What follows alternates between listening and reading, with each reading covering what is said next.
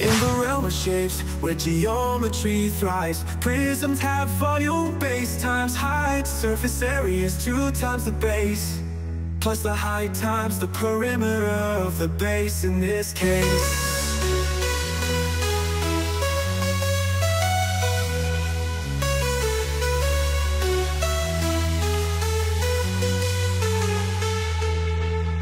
cones The next volume's pi times r's Cube. Times the cos i all over 3 If you ain't aware Surface areas pi times r squared Plus pi times r times line height here. Pyramids rise with the triangular sides Meeting at the apex. Volume space times the height divided by 3 Don't need to say less. Surface area's the total area Of each of his faces